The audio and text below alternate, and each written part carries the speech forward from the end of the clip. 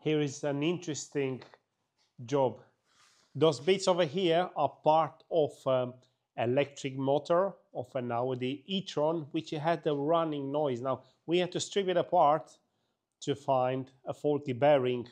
Interesting facts about how this is built. Um, you're gonna find in the full video of the repair, but let me show you a few things. So look, signs of corrosion of the um, sensor that is very important for the end uh, motor operation. This is the position sensor. And everything was stripped to get to this little thing. That is very noisy.